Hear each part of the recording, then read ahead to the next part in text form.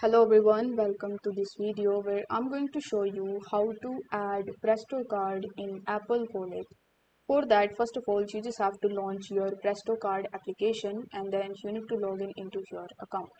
Now, once you've successfully logged in, you are going to see your card on the home page.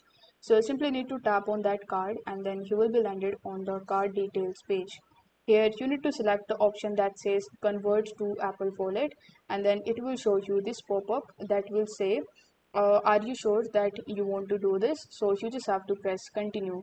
Then it will take some time to scan your device and then it will redirect you on this page.